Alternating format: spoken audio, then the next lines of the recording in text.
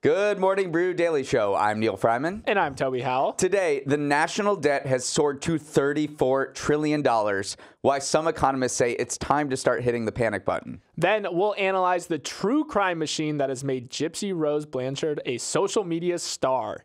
It's Thursday, January 4th. Let's ride.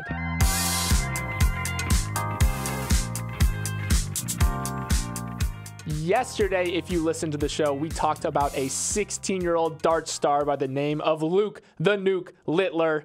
Littler became the youngest player ever to reach the final of the World Darts Championships yesterday and is just an electric sportsman overall. He's quickly become an MBD favorite. But Neal, you actually watched the finals yesterday. Tell the people about the experience. Well, Are you a fan? Well, I, I'm a fan of darts. Unfortunately, we should say Luke lost to another player named Luke Humphreys, who won the championship. But I am all in on this sport. Formula One and pickleball. so 2022. It's fast paced. There's lots of drama. I also love the mental math aspect because when you end a round, these guys have to get a double to to leave around. So there's a lot of mental math planning and strategy that's happening. So I, I mean, the semifinal for Luke Littler gained 22.3 million viewers. That's about on par with the Stanley Cup final. Oh my God. Luke is, he's the sportsman of the year, but also you really enjoyed the uh, production aspect of it too, because it feels like the camera knew where to look where they're throwing the darts. Yeah, it was like, a, you know, any Mr. Beast uh, YouTube video. there was a lot of cutscenes. There were, they had so many different cameras on the board. So I know people are probably rolling their eyes right now, but I'm pretty bullish on darts. Bullish on darts. Before we jump into the show, we have a quick word from our sponsor sponsor, Veeam. What is Veeam, Neal? Great question. Veeam is the number one global leader in data protection and ransomware recovery. So it's helping protect your data from getting compromised and helping you recover it when it does. Beautifully put. They also have this idea called radical resilience, which means bouncing back and bouncing forward whenever mistakes do end up happening. Radical resilience. I can get behind that. Head to veeam.com today to discover more. That's V E E A M.com today. Yesterday, a list of nearly 200 people previously known as John and Jane Does were revealed in a release of court documents connected to the convicted sex offender and former financier Jeffrey Epstein. This list had been breathlessly anticipated on social media for weeks, with the expectation that more powerful business people and Hollywood types would be named in association with the disgraced Epstein, who killed himself in his jail cell while awaiting trial for sex trafficking charges in 2019. But the reality is, there was not much new or path breaking here. Most of the information and people named in the documents had already been revealed by news organizations and other court proceedings. And the fact that people were included in the docs is not an indication of wrongdoing or law breaking, just that they appeared in testimony or depositions in an old lawsuit filed by one of Epstein's accusers. Two of the most prominent people named in the documents, Donald Trump and Bill Clinton, have previously said they cut off ties to Epstein decades ago. Still, the release of the names and the hype around it reflects how the mythology of Epstein has continued years after his death and a reminder of how he cultivated a network of the rich and the famous to carry out his crimes. There was so much build up to this list. Unsealed list, Jane and John Doe's unmasked. There was just tons of anticipation. But you were correct in saying that there wasn't a lot of bombshell names like some people were maybe hoping for. What was interesting to me was kind of this dynamic, though, of how the list is being used in culture today. I mean, Aaron Rodgers went on uh, ESPN and called and made a joke about like the fact that Jimmy Kimmel might be on the list. And Jimmy Kimmel fired back and said, listen, I will sue you if you kind of implicate me with this thing. So what's interesting to me is how that list has kind of taken on its own sort of I don't want to say like celebrity in the in the current times, but it is kind of like this boogeyman right now in, in popular culture, and it's being like weaponized as a as a as a way to implicate people who aren't actually implicated. Yeah, that was just a conspiracy theory. But everything about Epstein is a is a conspiracy theory. Uh, what is not is his impact on the business world. I mean, there's been a huge fallout in the past few years of business people who had associations with him. Leon Black is one big name. He's a huge investor. He was a co-founder of the private equity company Apollo Global Management. He stepped down back in 2021 after his ties to Epstein were revealed. He paid Epstein a total of 158 million dollars between 2012 and 2017 for various services. And the thing about that is Epstein was first charged and went to went to jail in 2008 for procuring and soliciting a minor for prostitution. Then he went to New York and tried to build out this network of rich, famous, powerful business people that he used and, and tried to resuscitate his reputation after that. And it seems he was successful. He had banking ties with JP Morgan. He worked with Leon Black. He had meetings with Bill Gates. The Wall Street Journal uncovered his, his schedule uh, of people he met with, his calendar, and it was all these big names in business like Reid Hoffman. Uh, so, I mean, Epstein somehow weaseled his way into these rich and powerful circles, and he used them to to create this sex trafficking Yeah, I do think that going forward, the story is more going to be about kind of narrative control around people whose names did appear on the again, we're calling it the list, but in these uh, unsealed court documents, in saying like just because your name is in there doesn't necessarily mean you were implicated. So this whole this whole saga is is a story about narrative control and how it can often spin out of control sometimes okay, we've got junk in space, we've got black holes in space, and now we've got cell phone towers in space. Elon Musk's SpaceX launched its first set of Starlink satellites yesterday that can provide cell service anywhere in the world. SpaceX is partnering with T Mobile to bring the service to US customers, but you likely won't be ditching your earthly phone provider anytime soon. Direct to cell will only enable texting at first, but voice and data will follow in the coming years, T Mobile said. The goal of the direct to cell is not to be your main cell provider, but to help get rid of those annoying dead zones that pop up in even the most developed countries, as well as bring service to some of the more remote corners of the earth.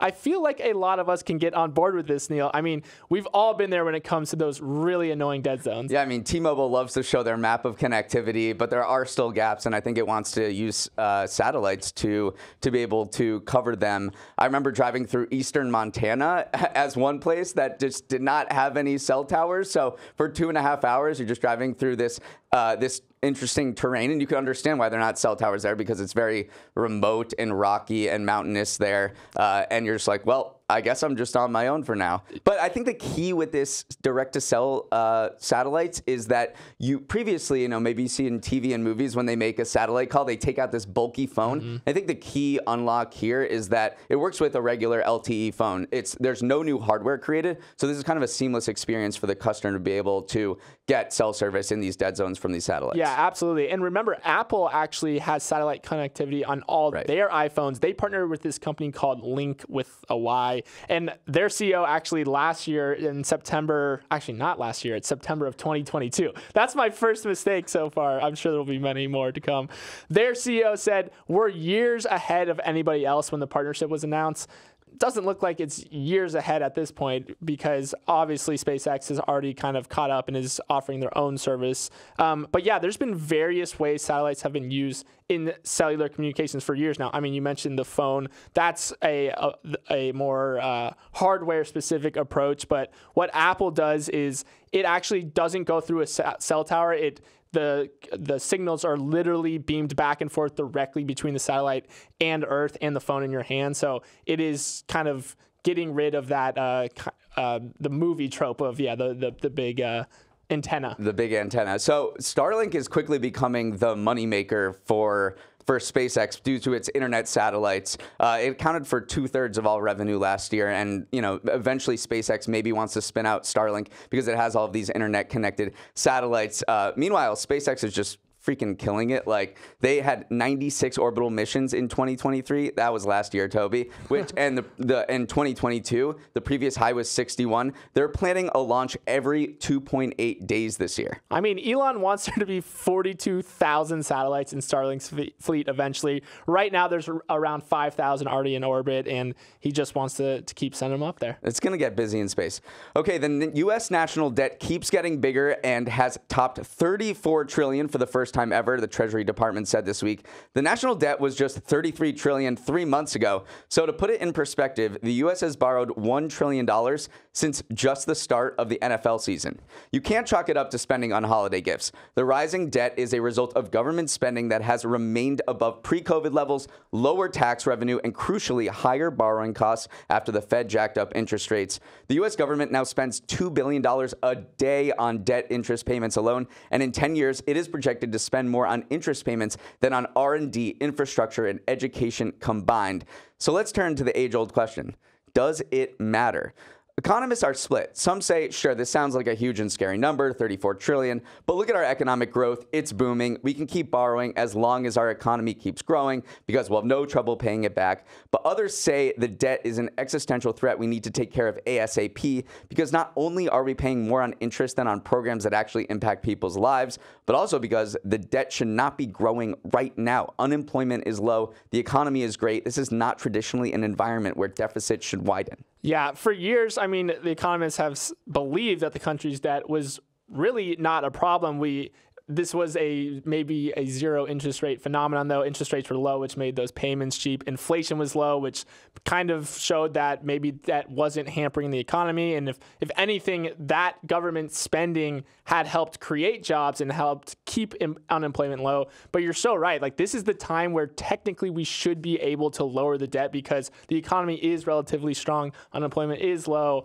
Uh, the interest payments are a little uh, certainly annoying right now. But this is uh, times of economic growth is when the, the debt's right. shrinking, it's still growing. Even Paul Krugman, who's a liberal economist and as promoted deficit spending for years said serious deficit reduction was a bad idea a decade ago and it's a good idea now and you see the tide start to turn because these credit rating agencies have kind of knocked the US for its its debt load and this, DC brickmanship, which we can talk about. But last August, if you remember, Fitch cut its credit rating on U.S. sovereign debt from the AAA, the highest rating, to AA plus. And in November, Moody's, which is the last credit rating agency that still has the U.S. on AAA rating, warned it could it could cut its deficit or warned it could cut its rating because of these debt problems. And really, it's because the economic conditions have shifted under the U.S.'s feet with rising interest rates. It's so much more expensive to borrow money now than it used to be. Yeah, that two billion a day on debt interest payments alone is just staggering when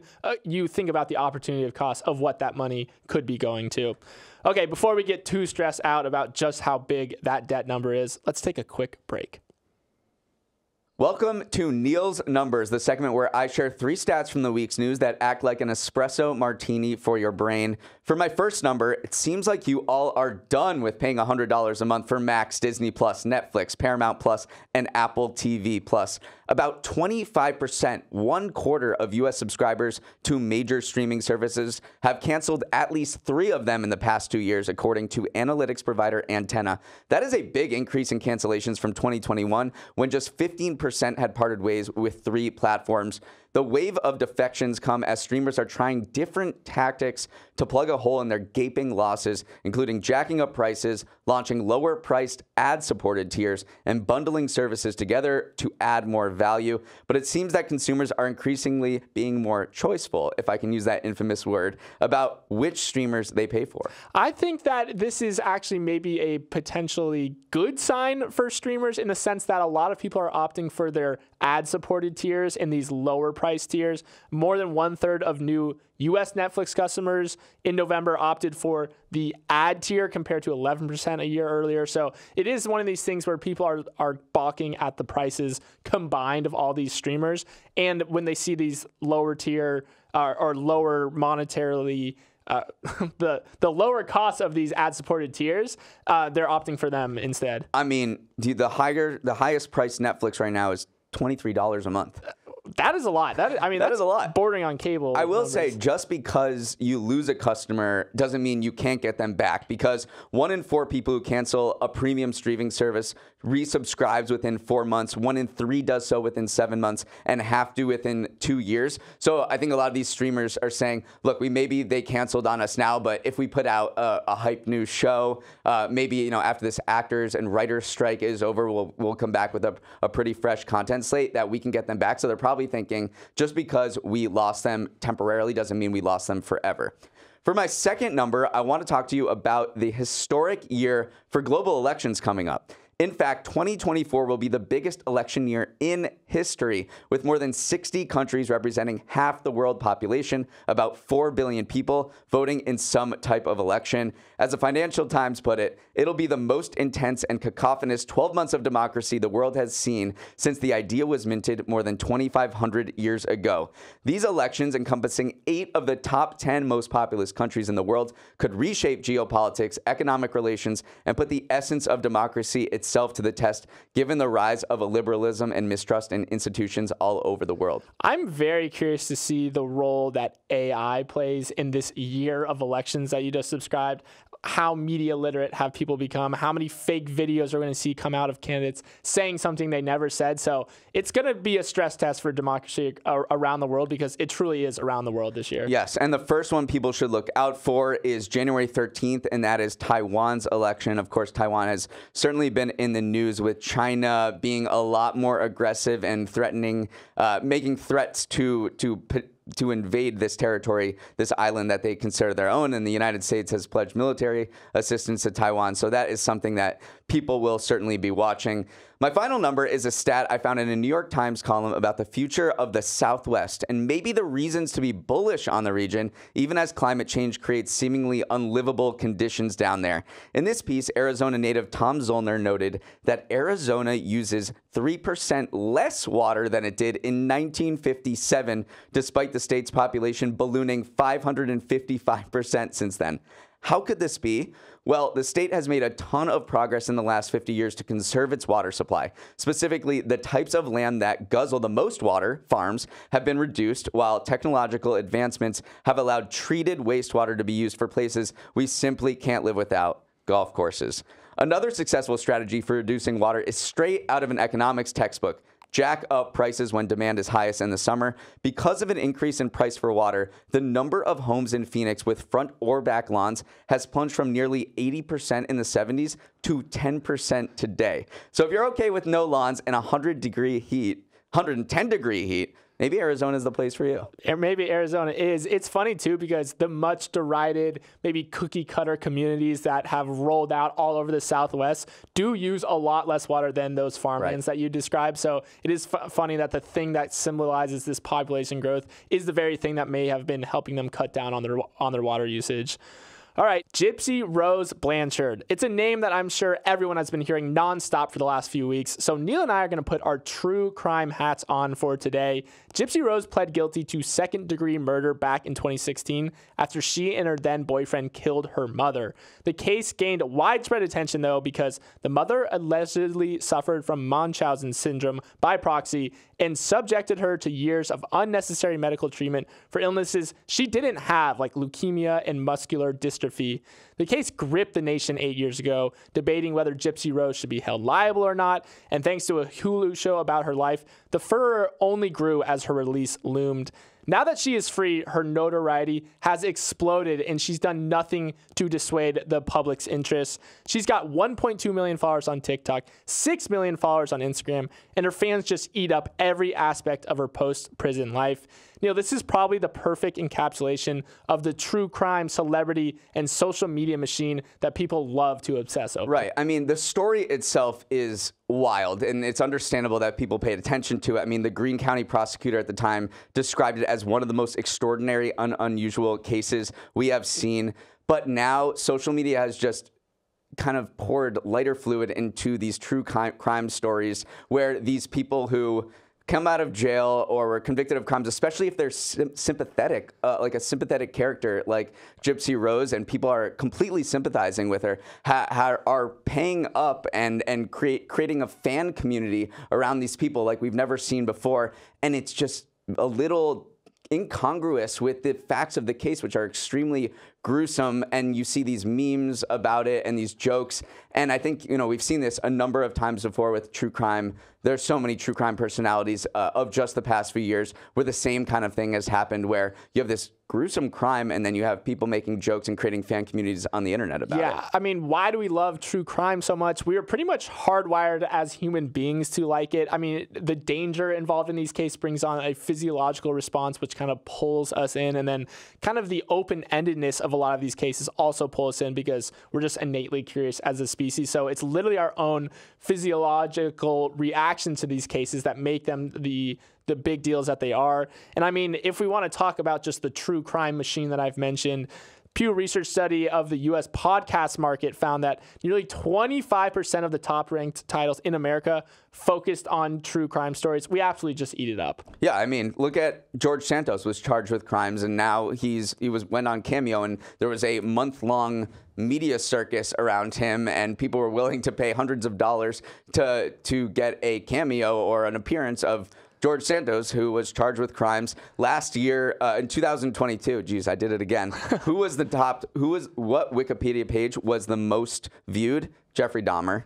People love the, the danger involved in these things. Um, it is interesting, too, that Gypsy Rose Blanchard is not doing anything to kind of shy away from the no. spotlight either. She's got a book coming out, she has a lifetime documentary about her. So, this is her kind of capturing on this, this moment of, of fame. And I mean, in her defense, like the the cycle of true crime moves very quickly, and the cycle of celebrity moves very quickly. So she's might gonna, as well capitalize now where well the mar- where there's a market. Exactly. Okay, yesterday on the show, we talked about the 16 year old dart phenom, Luke Littler, and we talked about him today as well. And today we're talking about another absurdly talented youngster. Willis Gibson is a 13 year old competitive Tetris player and just became the first human to beat the game on the original NES console. Beating Tetris essentially means causing the game to crash. When you reach a level 157, the game enters into a kill screen and you cannot go any further. In doing so, he broke the human world record for overall score and total lines achieved. Notice I said human because previously only an AI had beaten Tetris. One of the big innovations that allowed Willis to achieve this feat is this technique called rolling, which involves turning the controller over and kind of rolling your fingers over the back of it to press the directional pad up to 20 times per second, way faster than our finger muscles can actually operate. Just a few years ago, people thought it was only possible to play up to level 29, and this kid just made it to 157. This is like breaking the two hour marathon for Tetris. So cool that this happened 34 years after the game came out. I know. Oh, people have been trying to do this for decades, and bullish on humanity here. people, people just love to push themselves, push, push themselves physically and mentally, and the fact that this 13 year old kid managed to do it is super cool. Just reading about like how the, the mechanics of Tetris is super interesting as well. So you hit level 29, and the bo- the blocks are falling faster than you can move them essentially. So that was thought to be the the most you could get. And then these people invented a completely new it, it's really a technique where they flip the controller over, and you can maybe explain it in a little more detail because I know you went to it went into a Tetris hole. But and then what is amazing, and we talked about like fan communities on the internet in the last segment, but the fact that this technique was spread all over the world to anybody who had access to a YouTube channel, people were publicizing it, and so it's kind of this this uh, community science project that everyone kind of worked on together to push the limits to where the Tetris code could just not handle it anymore. Yeah, they broke the game. So we've actually been through three different play styles now. The original one was called the short name is DAS, which is delayed auto shifts, where you just hold the directional pad down, which is the thing you use to to move the blocks. That's how most people would play Tetris. You just press the button, it moves over. But then hyper tapping came along, which is when you tap the directional pad a bunch of times, and then finally rolling is where I, I don't maybe I'll do like ASMR on the mic right now, but you literally like roll your your Ooh. yeah there you go you roll your fingers across it and you're hitting your finger into the right. button and yeah you can press it up to 20 times per second so cool though that also the, the, the kid themselves eh, himself did an interview with the New York Times. His mom said he had just finished emptying the dishwasher when he took a call for. Remember, these kids are still kids. Yeah. Like we talked about Luke Littler, 16. This guy's 13 the kids are all right. All right, so kill screen is the name of the end, you know, the the end screen where the game breaks. It's there's some infamous ones. It's kind of this holy grail in video gaming. There's Pac. There's one famous one for Pac-Man. There's one famous one for Donkey Kong. Which game do you want to break?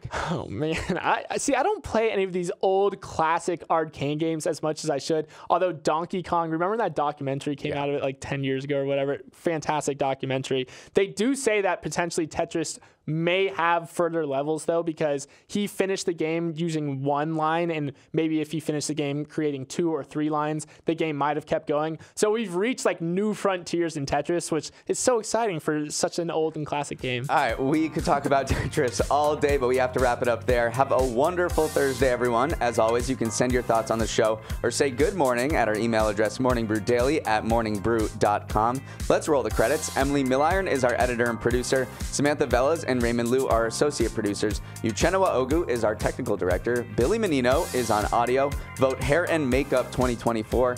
Devin Emery is our chief content officer, and our show is a production of Morning Brew. Great show today, Neal. Let's run it back tomorrow.